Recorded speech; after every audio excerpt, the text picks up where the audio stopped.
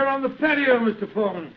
Come on out and, and join me. Admiring the sunset, eh, Doctor? Yes, my boy, it's a particularly beautiful one. Where are the puppies this evening? Uh, asleep on a, a favorite tweed coat of mine that's just come back from the cleaner. and you hadn't the heart to move them, I suppose. no, no, I hadn't. The little fellows looked so comfortable. In fact, I sometimes wonder if these... Oh, but you haven't come here to listen to a dissertation on the behavior of dogs? Well, it is getting near story time, Doctor. Yes, of course it is. Well, just let me uh, get my pipe properly lighted. Ah, that's it. The story I'm going to tell you tonight began in 1909. I received a telegram from my old friend telling me that he was leaving his Sussex bee farm and coming to London for a few days. I hadn't seen the great man for several months, so naturally I went to Victoria Station to meet him. As the train drew to a stop, the door of a first-class carriage swung open and Sherlock Holmes, hand outstretched, jumped down onto the platform to greet me. Watson, my dear fellow, how are you? Oh, Holmes, my dear fellow, it's good to see you again. I've missed you. And are you, old chap? Carry a bag, Uh, sir? yes, Porter, and get us a hansom cab, will you? Right, you are, Governor. I wish I'd got a spare room for you. Don't worry, Watson. I shall be very comfortable at the Diogenes Club. By the way, I trust you're free this evening. Yes, naturally. What are your plans? I thought we'd go to the theatre. The Theatre. Oh, what play do you want to see? Well, I thought we'd go to the Savoy Theatre and see the Sherlock Holmes play. I hear it's enormously successful. Yes, I know it is, but I've avoided it. I'm told that Sir Claude Horton takes great liberties with your character, and as for the actor portraying me, my friends tell me it's a, it's a travesty. He makes me nothing but a uh, bumbling old fool. Therefore, a visit to the play might be a salutary experience for both of us. In any case, my trip to London is a response to a urgent telegram from Sir Claude himself. Seems to need my help rather badly. oh, what's his trouble? Well, he wasn't specific in his telegram. He suggested, however, that we attend tonight's performance and discuss the matter with him afterwards. I see. Well, I, I suppose if you can sit through it, I can. Of course you can, old fellow. In any case, you yourself are partly responsible for the play's existence. How do you mean, Holmes? Oh, those sensational stories you wrote of my modest problems, I, I should have seen where they would eventually lead to. In time, no doubt, we shall um, be portrayed on the cinematograph as well. Nonsense, Holmes. That newfangled thing's only a toy. I think not, Watson. We're on the edge of a strange new mechanical world. In fact, I begin to feel a certain concern about the rumored developments in wireless telegraphy. But enough of these predictions. Here comes our porter with a cab. We'll tell the driver to take us straight to the Savoy Theatre.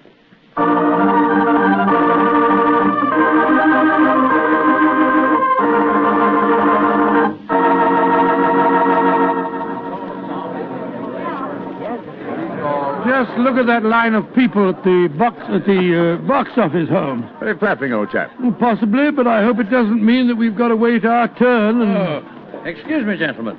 You're Mr. Sherlock Holmes and Dr. Watson, aren't you? Yes, yes, I yes. thought I couldn't be mistaken. My name is Frank Ferris. How do you do, Mr. Ferris? I'm glad to meet you, sir. Sir Claude has a box reserved for you. He asked me to see that you are quite comfortable. Very considerate of him. Will you follow me, please? Thank you. Um, neither of you has seen the play before, I understand. Uh, no, Mr. Ferris, we haven't. I imagine it'll be a strange experience seeing yourselves portrayed on the stage. By the way, I'm playing the part of an old friend of yours, Professor Moriarty. Oh, indeed. I'm looking forward to a very entertaining evening. I presume that you escape our clutches as usual? yes, I do, Mr. Holmes. and I've done it nightly now for 137 performances. Oh, A record that I'm sure Professor, uh, Professor Moriarty himself would envy. Had it not been for his memorable demise at the Reichenbach Falls. Ah, here we are, gentlemen. This is the box reserved for you. And now, if you'll excuse me, I'll go back to my dressing room. Oh, oh, I nearly forgot, Mr. Holmes. Sir Claude asked me to give you this note. Thank you. No, not at all. Well, I'll see you later. Very nice fellow for an actor.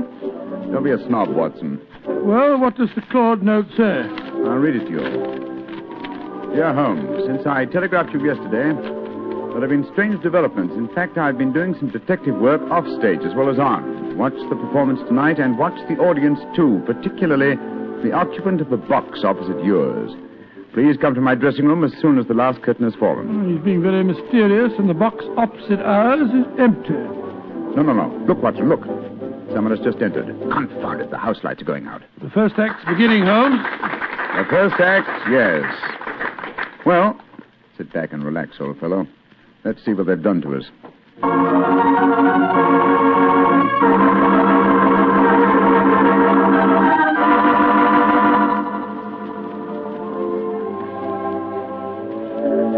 Well, and what did you think of the first act, Holmes? Huh?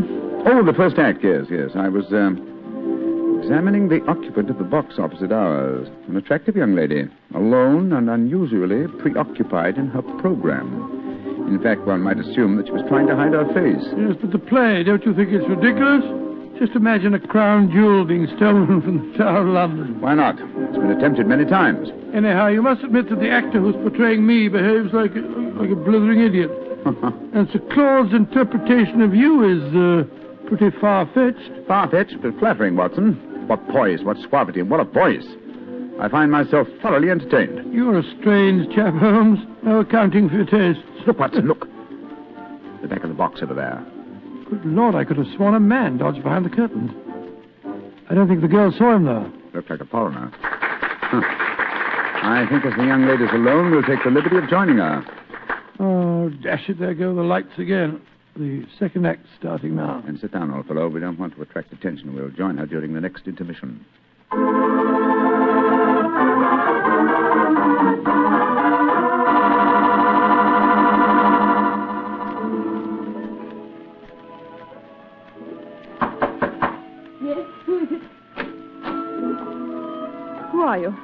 You want with me? Uh, my name is Sherlock Holmes, and this is my colleague, Dr. Watson. How do you do, young lady? I hope you'll forgive this intrusion, but Sir Claude requested that I keep an eye on you during the play tonight.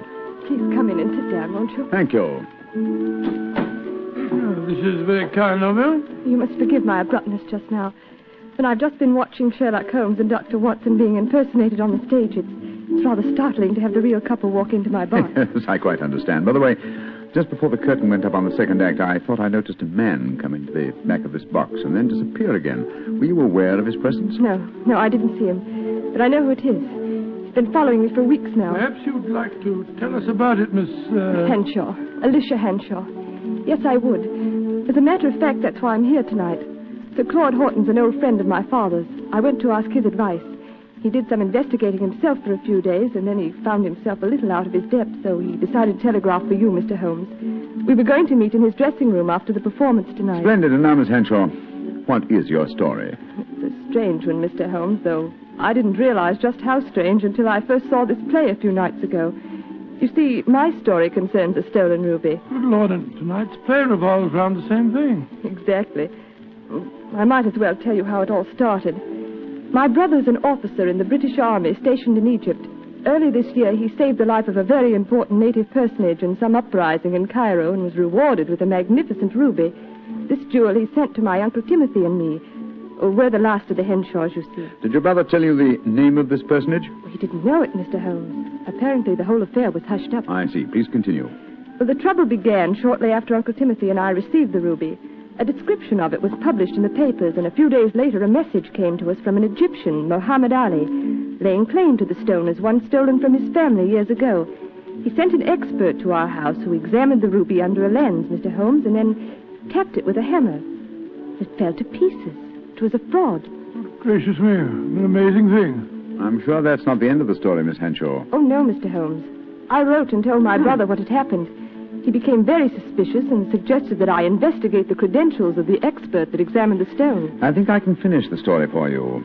The supposed expert was a jewel thief who substituted a paste ruby for the real one, destroyed the imitation, and walked off with the treasure. It's no trick. Of course, you haven't been able to find any trace of the supposed expert. Well, that's the funny part of it, Mr. Holmes. Uncle Timothy and I gave a description to the police, but oh, it was a very vague one, I'm afraid. All the time, Uncle said the man reminded him of a colleague of his many years ago at the university, a professor of mathematics. He couldn't think of his name, but when we first saw the play a few nights ago, he was reminded of it. The name was Moriarty. Moriarty. But Moriarty's dead. Miss Henshaw, you say you uh, have been shadowed for some weeks. Yes, by an Egyptian. They've stolen the ruby, Mr. Holmes. Why don't they leave me alone? That, Miss Henshaw, represents a, a very fascinating problem and one that I shall be most happy to help you solve. Oh, thank you so much, Mr. Holmes. Oh, Holmes. there go the lights again. The last act. Yes, the last act of this little play, but not, I fear, of Miss Henshaw's problems. Uh, let's meet after the act in Sir Claude's dressing room, shall we?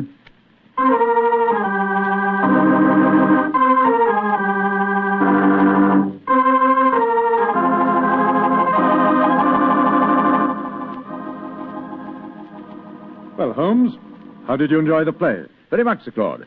May I introduce my old friend, Dr. Watson? How do you do, Mr. Claude? How are you, Doctor? I see you've already made the acquaintance of Miss Hanshaw, and she, no doubt, has told you her troubles, eh? Yes, Sir Claude. And Mr. Holmes has promised to help me. Splendid. Uh, tell me, Watson, how did you like the play? It was, uh, it was very interesting, Sir Claude. Not quite accurate, of course. Well, you, you have to allow us a little dramatic license, you know. Uh, what did you think of Rodney, the man who was portraying you, Doctor? Well, since you mention it, I think the fellow needs to study diction. He, he mumbles so much I couldn't understand a word he said. oh, come now, old fellow. I, I think there are times when you're a little hard to understand yourself. oh, rubbish. Sir Claude, I hope you'll uh, meet us at the Diogenes Club, and then we can go out and have some supper. Excellent idea. I'll join you there after I've taken off my makeup. Splendid. I think I should be going home now, Sir Claude. I gave my address to Mr. Holmes so he knows where to get in touch with me. Very well, Miss Hanshaw, don't worry. I shall give your problem my undivided attention. I'll take you to your cab, my dear. Oh, there's no need to, Sir Claude. Nonsense, I insist. Goodbye. I'll be back in a moment, gentlemen. Right, Miss Hanshaw? Uh, good night, good night.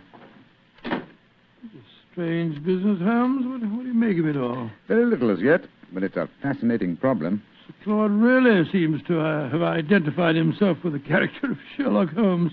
He gave me the impression that he feels quite capable of, of solving the case by himself. Oh, hello. Claude hasn't left, has he? Oh, no, Mr. Ferris. He's coming back in a moment. Oh. How'd you like the play, gentlemen? Very much. Your own performance as Moriarty was most convincing. Yes, yes, indeed, sir. Congratulations, congratulations. A couple of times there, I had a strange feeling that you, you really were Moriarty. Well, that's very flattering, Doctor. Oh, hello. Well, it sounds as if there's some trouble at the stage door. Hey, excuse me. Come on, Watson, let's follow him. Right. Hello, it's Sir Claude. He seems upset about something. Yes. What's happened, Sir Claude? Oh, there you are, Holmes. I, I just seen Miss Hanshaw off in her cab when a foreign-looking fellow came out of a doorway and got into another cab. I heard him tell the driver to follow her. I, I tried to stop him, but he got away. Must be the same man that we saw in our box during the play. Mr. Claude, uh, we have her address. I think we'll drive there at once and see that she's arrived safely. We'll join you later at the Diogenes Club.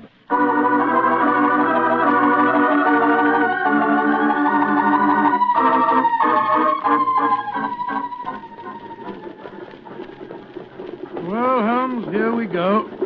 Off on another adventure. Yes, and one that may give us an opportunity of crossing swords with Moriarty once more. Oh, Moriarty's dead. He was killed when you and he fell over the precipice in 91. He was supposed to have been killed, just as I was, but his body was never found. It's impossible, or rather possible, that he returned to pour into the ears of Colonel Moran a story as unlikely and as true as the one I related to you on that April evening in 1894. One can never be sure of death, old chap, until one has touched the cold skin of a corpse.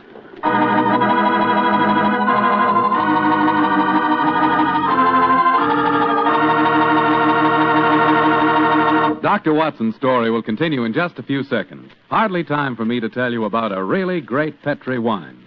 Petri California Muscatel. Did you ever walk through a vineyard early in the morning and pick a big, juicy muscat grape right off the vine? Mm-mm. If you've ever done that, then you know what to expect when you taste Petri Muscatel. Petri Muscatel is the color of golden sunshine with a flavor to match. Serve Petri Muscatel after dinner some evening, or serve it any time friends drop in. It's a wonderful way to express your hospitality with a wonderful wine, a Petri wine.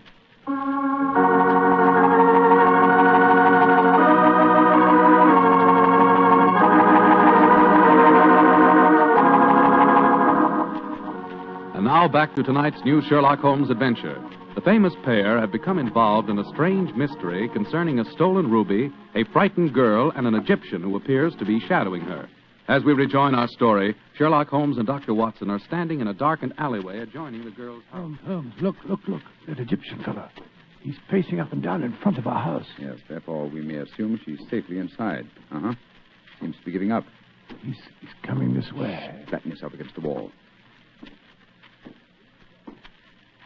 Good evening, sir. Good evening. Who are you, please? We are friends of Miss Hanshaw, and we're very curious to know why you've been following her. I'm sorry that I cannot answer your question, sir. Now, look here, my man. You're talking to Mr. Sherlock Holmes. You are Mr. Sherlock Holmes? I'm greatly honored to meet you, sir. All my life I have known of you. All my life I have admired you. Then, in that case, perhaps you'll answer my questions. Uh, why have you been following Miss Henshaw? Because it is my duty. What do you mean your duty? Perhaps I should have said my destiny, Mr. Holmes. For two generations now, the family of Arabi, of which I am a humble member, have dedicated their lives to finding the stolen treasure of Asyut. What on earth's all that got to do with Miss Henshaw? Hmm? The treasure of Asyut is a giant ruby. It was stolen many years ago from the family of Muhammad Ali. A few months ago, Miss Henshaw received a mysterious ruby. I have found out many things, Mr. Holmes. I have many sources of information. Then I must regard you in the light of a, a rival detective in this case. I heartily call myself a detective, Mr. Holmes. My life is dedicated to only one problem. Miss Henshaw now says the jewel was stolen from her. I do not believe it. That is why I watch her. If I am wrong this time, and I do not think I am wrong, then my quest must go on. Always it will go on. Permit me to wish you the best of luck, sir. Thank you, Mr. Holmes. Good night, gentlemen. Good night, good night. Sure we shall meet again. Oh, why did you let him go, Holmes? Why not? He's frightening Miss Henshaw. But not molesting her, old chap. In fact, it might be a good thing if someone is keeping an eye on her. And meanwhile, Watson, let's see if we can find a cab and get back to the Diogenes Club. I don't want to keep Claude waiting.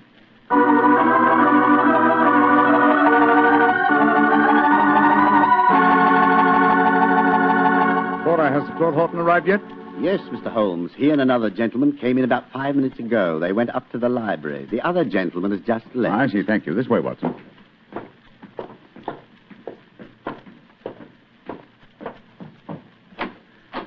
I'm sorry, Sir Claude, to have kept you waiting. We took a little longer, but. Sir Claude! Great heavens, what's the matter with him? Holmes. I. I. I found the answer. Too late. No, no, no, no, sir.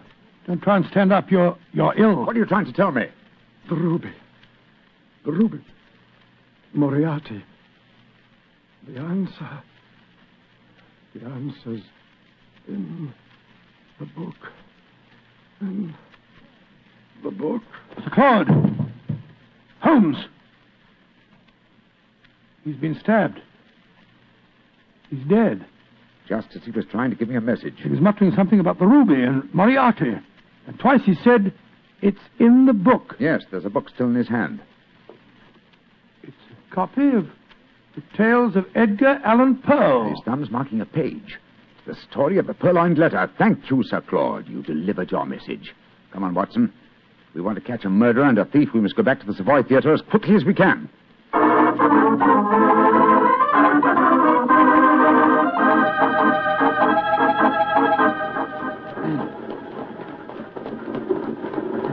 Why do you suppose Sir Claude was murdered? Because I was too curious. Been investigating the problem of the stolen ruby and had found out something. Something he promised to tell me at supper, you remember? Until so he was killed by a man who came with him to the club tonight. Fortunately, he gave me a clue by indicating Poe's story of the purloined letter. But I still don't see that how that helps you. Well, it leads us to the ruby. The premise of Poe's story is that the most obvious hiding place is the safest.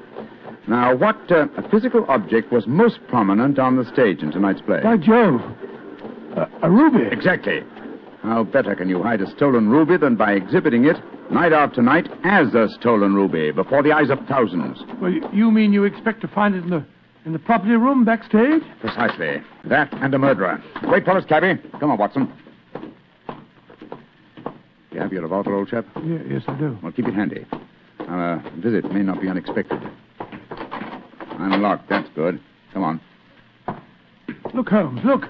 The doorkeeper. He's slumped over his desk. Hmm. He's been given chloroform. We'll take the liberty of borrowing his lantern. It's an eerie atmosphere about a dark and empty theater, isn't there, Holmes? Now, where would the stage properties be kept, I wonder? Hold the lantern a little higher, will you, old fellow? Yeah. That's it. Uh-huh. Look over there. A large cabinet. And it's marked property department.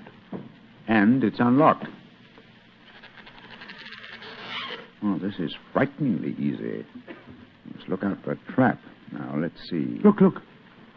There's a ruby lying on that tray. Hold it up under the lantern, Watson. Exactly. It's as I thought. This is no paste stage property. It's a genuine ruby. In the light of this lantern, it's very hard to... Watson, quick! He nearly got us.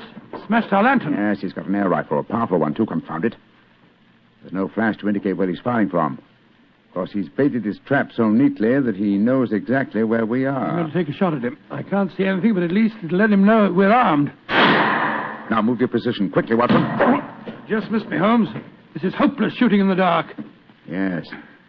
I've got to switch the stage lights on. Keep him occupied, old fellow, will you? Well, I try to find the light switches. I've got him. But he can still shoot, confound it. Yes, well, I found the light switch. Keep your eyes skinned, Watson. I'm turning it on. There he is, Holmes, up in that box. Getting away. After him, Watson. You can jump over the footlights into the box.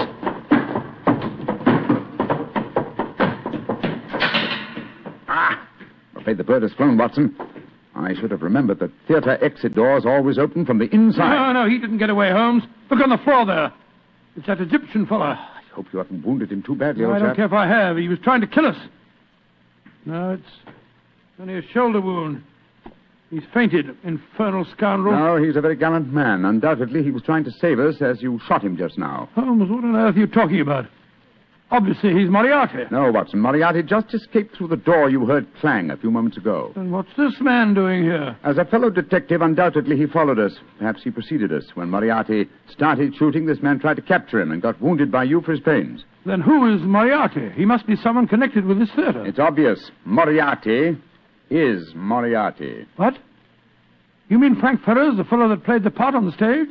Again, remember Poe's story of a purloined letter. But why didn't didn't you recognize him? Oh, remember, I haven't seen him for 20 years, and you haven't forgotten his genius for disguise, have you? What incredible audacity!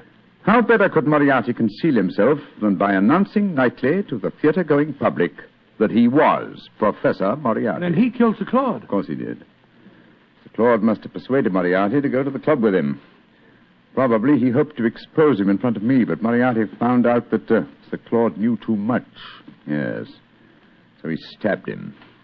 Rushed back here to bait his trap for us. Yes, yes, yes, yes. But how did he know that we'd uh, we'd walk into it? Well, he knew that if Sir Claude had guessed his secret, then I certainly would, and so he was waiting for us. Oh, hello. He's coming too. How are you feeling, my man? The, the ruby. The ruby. Did you find the ruby? Yes. Here it is, son. Tell me, is it the ruby of Muhammad Ali? No. No. It is a fine stone, but it is not the one for which I have searched all my life.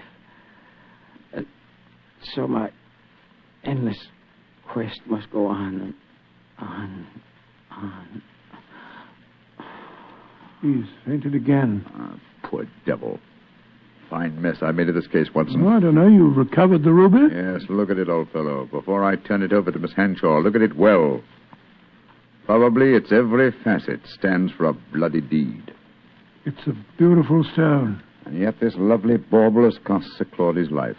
And that devil Moriarty still goes free. But one day, Watson, and may the day come soon, I shall meet Moriarty again. And when that happens and I finally bring him to justice, then and only then can you write finis to the character of Sherlock Holmes.